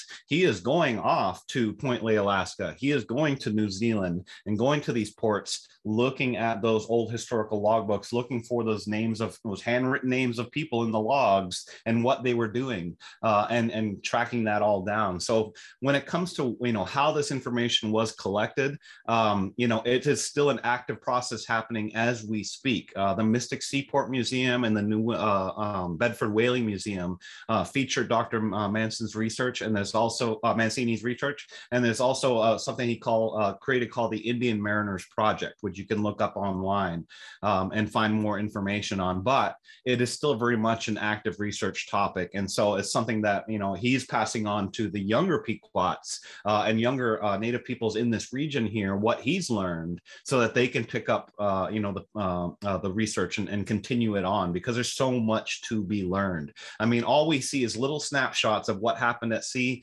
little snapshots of what happened on land, and there's so many gaps of what's going on in the middle. Um, and those gaps are, are really, you know, uh, where the research is going to take us eventually. Hmm. Fascinating. Dr. Long, Dr. Burrows, any, any kind of similar um, experiences? Well, I'll address the fact that uh, for me, there are very little records that address um, because so many uh, written records weren't kept, especially identifying people of color. Mm-hmm. And so I have to use clues, um, you know, like kind of um, a, a clue that leads to something else that leads to another source.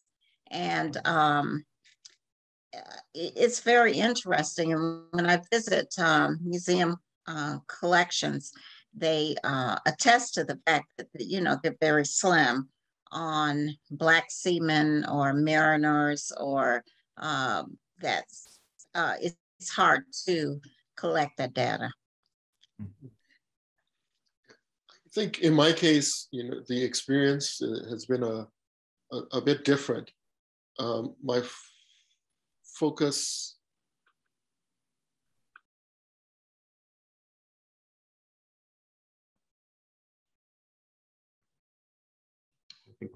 think we lost you, uh, Dr. Burrows, just for one second on mute. Yeah, okay.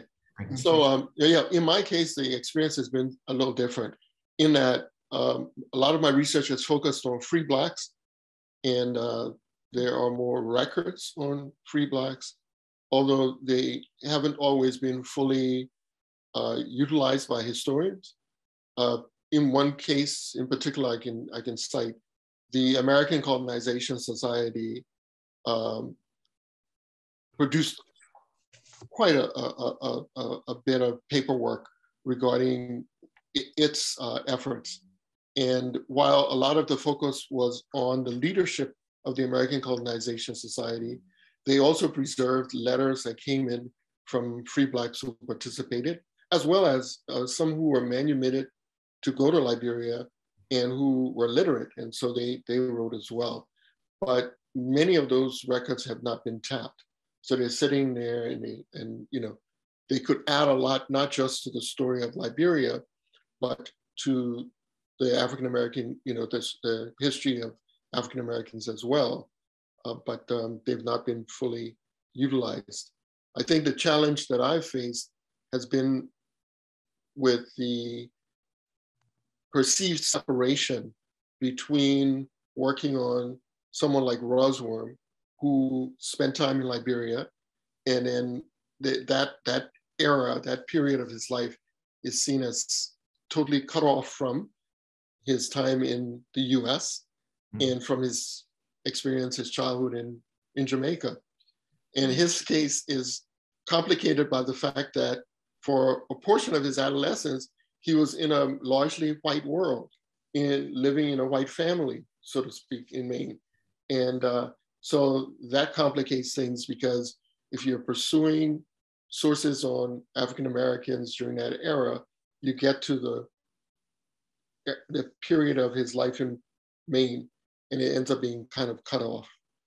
So it's transcending those artificial boundaries that was complicated, you know, in pursuit of this story.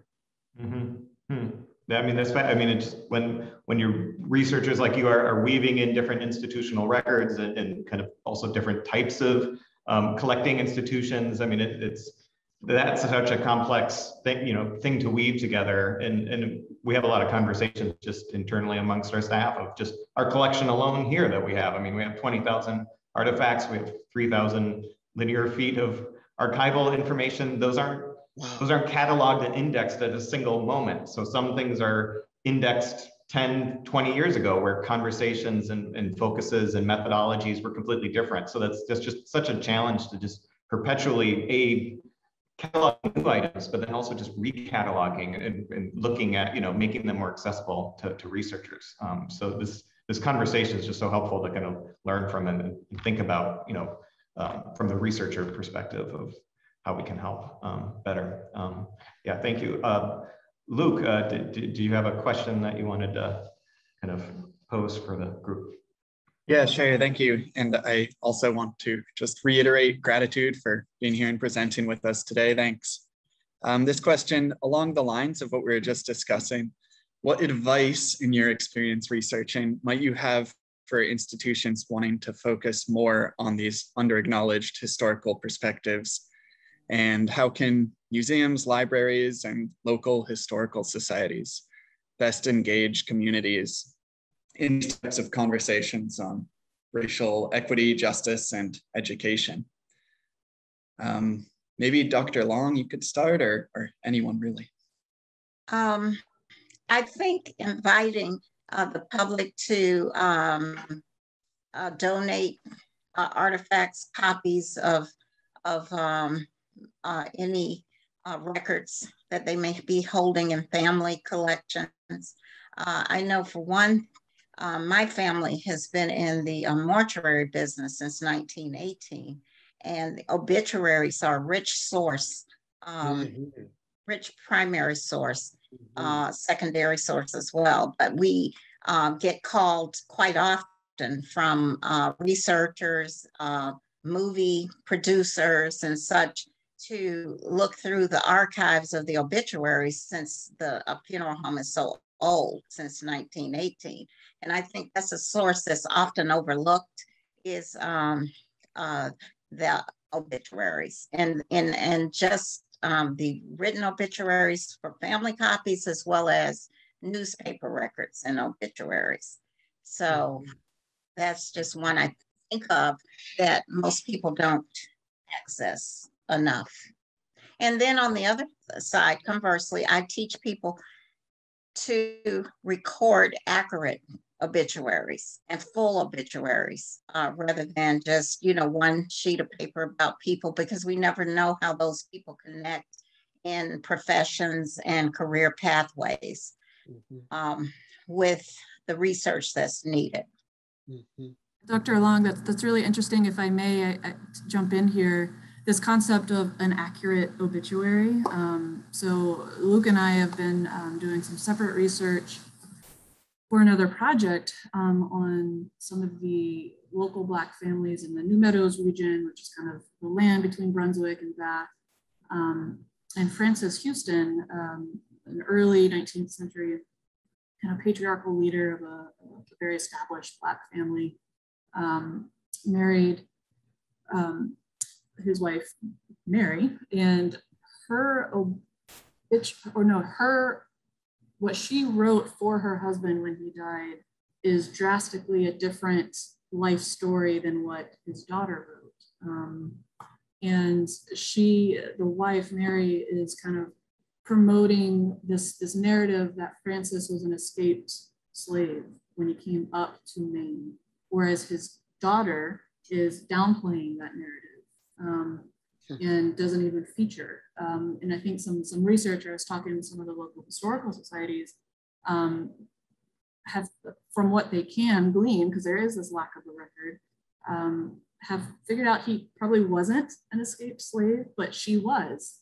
So is she amplifying this narrative mm-hmm. and why? Um, so yeah, it's, it's a kind of the, the pitfalls of archival research and this kind of primary source research, and especially made doubly hard when um, it's these are histories that, um, like uh, Dr. Burrows is saying, is, is kind of bifurcated. There's the Liberia uh-huh. history, it's not connected with the, the stateside history. Uh-huh. Um, so yeah, have, have any of you kind of experienced that kind of differentiation in the record and how do you go about telling that story or the complexities of that story? Well, can I address that? Because um, I want to talk about when you say two sides of an obituary, for instance. Um, people and even within families, know the person differently. Mm-hmm. So a child wouldn't have exposure to a parent as an adult in the same way that adults interact.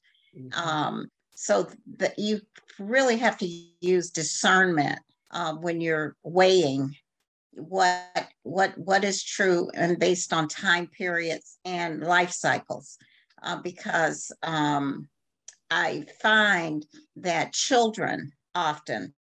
Um, I don't always rely on what they're saying because they don't know their parents as mm-hmm. adults. They know them as parents, and that's one dimensional usually. Mm-hmm. Um, because you could ask my children right now, what did I do? They wouldn't be able to tell you. you know, I mean, not accurately. They would say she's an educator, you know, and that's it. And so um, I think you need a lot of parts. Um, to look at the different dimensions and the life stages uh, of a person. Mm-hmm. Yes, I agree. I, I, and I think um, Dr. Long has raised a really important, I mean, several important issues, but one of them has to do with the significance of obituaries. And uh, there are mortuary services across the country where they were geared towards serving communities of color. And those records, you know, if they were made available to the public, to researchers, would add immensely to the sources we have. Um, so my take on the issue is that um, people are multidimensional. Uh, and so those who know us will know different sides oftentimes. And it's not a matter of picking the one true side. Sometimes it's about putting the pieces together to create a whole. Uh, but if we had access to those obituaries, oh my goodness, I can just imagine how much richness you know they provide. I remember working in West Virginia during a period, and I was connected with the Black History um, Society there. And a man came up to me. His father had been a photographer in the Black community, and he brought a shoebox of photos He said, you know, I, I don't know where these could be placed to be preserved. So I'm thinking I'll leave them with you and you can you know, make the necessary contacts. Among the photos were young men dressed in their uniforms, preparing to go off to the Second World War. Uh, but then there were also photographs of people, you know, at funerals, mm-hmm. including the deceased. Mm-hmm. Uh, so mm-hmm. there was a tradition of taking pictures, you know, of um, loved ones uh, who had passed. And there's a lot of material, rich material in, in private hands yes. that, if made available, would add, you know, quite a bit to what we're doing. And and may I piggyback um, the Black Press because you meant uh, your subject, um, Mr. Uh, Mm-hmm. He started the Black Press, mm-hmm. but there is rich, is is is robust with mm-hmm. information. I was looking at, uh, I was looking at, um, looking for someone um, in Alabama this week and found them in an archived um, copy of, of the Black newspaper in mm-hmm. Alabama mm-hmm. at the time. Mm-hmm. And just, a, just a little bitty blurb about yes. the person that it described. It was just what I needed to place them in a, in a, connect them yes. to people and times that you know I was looking for a time frame, and so the date on the newspaper um, validated what I was looking for. And that paper only ran for seven years, but um, there were other papers that ran longer. But I think that that's a vast repository across the nation that probably um, mainstream museums don't know about and aren't accessing. Yes. I, I did want to go back to Luke's question. Um, so Dr. Long's, you know, uh, response was so rich. I, I, felt like I had to, to, to engage. But yes, to Luke, I would say exactly what you have done in putting the symposium together is what I would recommend for museums, you know, to, to, be, to begin this process of making known to broad communities uh, the resources you have available, the fact that you are welcoming their engagement. Uh, I feel remiss because I didn't contribute to um, sharing the information as broadly as I could have. But I would, uh, based on that recognition, I do want to say to you that um, it, it's a process. And over time, you will learn how to connect with those publics And the better you connect, the further out the word goes that here's this tremendous, you know, um, collection and that the collection, those who are the custodians are inviting people of color, you know, researchers to, to come in and, and be involved. But if this is recorded and made available, I'll do everything I can to make up for the fact that I didn't send the invitations out earlier. I'll invite people to, to come in and uh, be in touch. I agree. There are a couple of questions in the chat, I see. Um, I, would just like to jump in really quickly to respond to uh, to Luke's question. Uh, when it comes to native populations and collecting institutions, um, there, there really needs to be some realization and some reckoning that has to happen there. Um, there's a reason why my father's uh, generation would not even walk into a collecting institution, much less work for one or work with you.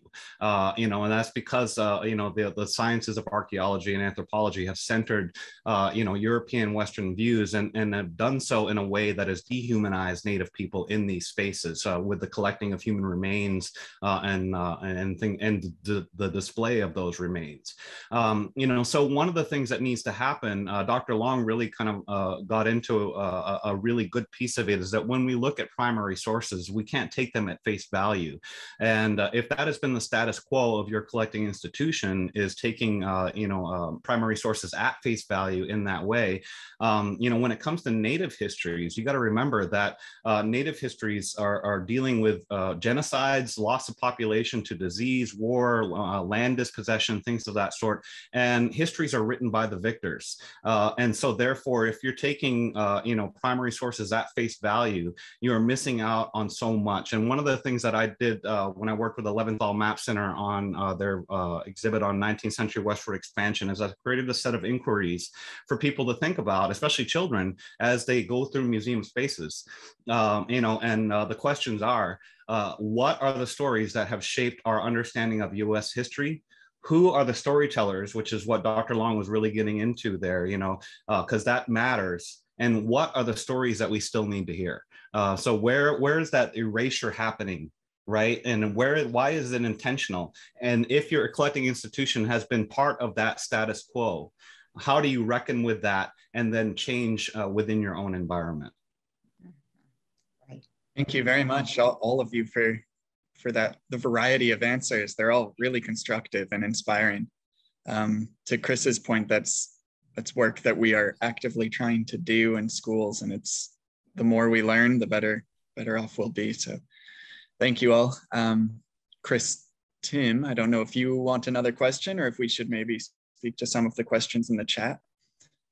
Um, yeah, I guess just real quickly, I have one, one, one other one here um, in, in that, I, that I see here. So it's just kind of a, I guess maybe comment on how the project maybe evolved over time. I mean, how did how did you kind of set off on on the research topic or um, kind of line of inquiry at the beginning, and how did that relate to the kind of what our attendees heard today? What sort of kind of maybe unexpected turns, uh, you know, and kind of discoveries happened under under that process because obviously it's not a single moment in in time. Um, any anything to kind of share with our att attendees on on that question?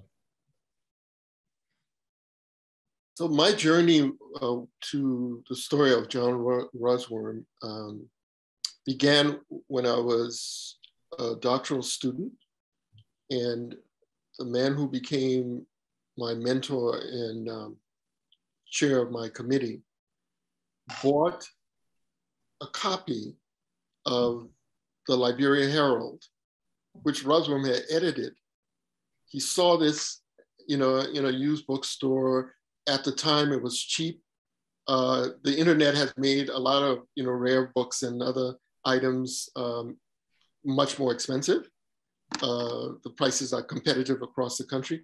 But in any event, he found this old paper. I was from Liberia. He knew it, so he he bought it and and gave that to me. And I was fascinated. I, I had no idea that there was a newspaper in Liberia going back to the 1830s. Uh, and then I saw the, the name of the editor. I knew of Russwurm's involvement with the Black press in America, uh, but this kind of piqued my curiosity. And along the way, I began picking up, you know, more and more information about him.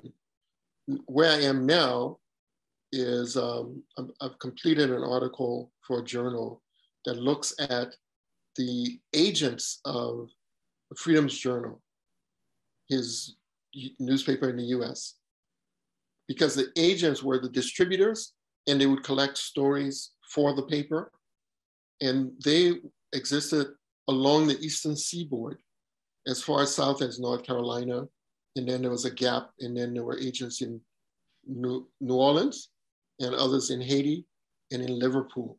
Again, the Atlantic figures in as a, a major, you know, uh, connector. And um, so I, I'm flipping the script to go from, you know, focusing on the editors to look at um, the larger network uh, of, of distributors. But the story continues, the journey continues. Great, yeah, thank you. I have about just a couple minutes left, and I think um, a great concluding question is one from the chat. Um, is um, maybe Mr. Newell, I'll start with you here. What creative teaching tools do you think are effective with educating young people about these issues? Hmm. My hat's off to those who teach young people because um, I spent my life, you know, and uh, oftentimes working with graduate students on dissertations and, and thesis. But um, Well, imagine, you know, with the multimedia resources we have today, um, I'm, I'm finding things online that uh, help me with my learning experience. Of, and I know that there are programs, social studies programs that are, have organized a lot of material and made them available as well. Those could serve as models. Um, I, well, I started at early childhood and worked up to higher ed. So, and whatever I know is antiquated in the lower grades, but I um, have grandchildren and the multimedia uh, formats work so well with them and practical experiences. I think um, uh, taking children to museum spaces, to um, um, community uh, community places to have opportunities to engage in actual um, research or to um, have um, uh, puzzles, puzzles, and those type activities for critical thinking because it really is about critical thinking uh, when you look at um, this type inquiry. I agree. Uh, I'm a big fan of technology. My my father's always been there as well. Uh, I got involved with uh, working with documentary film as a teenager initially. Uh, never made a film, but I've worked uh, in and around film for quite a bit. Uh, and you know, with the the advancement of technology, my father's been an, amateur conservator his entire life. Um, but with these new cell phones and everything, everybody can be a conservator. Everybody can highlight these stories. They can go and visit elders and get permission to tell their stories and, and, and document them. Uh, and so I would encourage people to take advantage uh, of, of these tools and uh, begin documentation of your own, uh, you know, uh, uh, as a way and, and as a way of uplifting the stories that have been part of the, the erasure narrative. Mm-hmm. Excellent. Thank you so much, everyone. Um, so I want to personally thank Mr. Newell, Dr. Long, Dr. Burrows, uh, for sharing your knowledge and your time today. Um, uh, it's just been such a great conversation. I am invigorated to go back to work, um, help tell these stories, and learn myself. So thank you so much. I want to thank Paul Fuller, uh, Luke Gates Millardo, and Christopher Tim for helping run the show uh, behind the scenes and in front of the camera as well. Um, I think we've learned today that there are more stories to be told, more, more voices to be heard, much work to be done. Um, so while this can be daunting, it's important and it's essential. Um, so I welcome all of you to come visit Maine Maritime Museum. Uh, we actually have an upcoming exhibit opening, uh, very closely tied to some of the stories that we told today. Um, it's titled Cotton Town, Maine's Economic Connections to Slavery, and that will be opening up on December 16th. Um, I invite you to come see that. Um, so thank you again for today's rich discussion. If you have further questions or comments, please just uh, email them to Maine Maritime Museum staff. We can get in touch with our speakers um, if you want more information on something you heard today. Um, and with that, I conclude Maine Maritime Museum's 2021 annual symposium, Unfurl, Symposium for Undertold Maritime Voices. Thank you so much, everyone. Thank you. Bye-bye. Thank you. Bye-bye.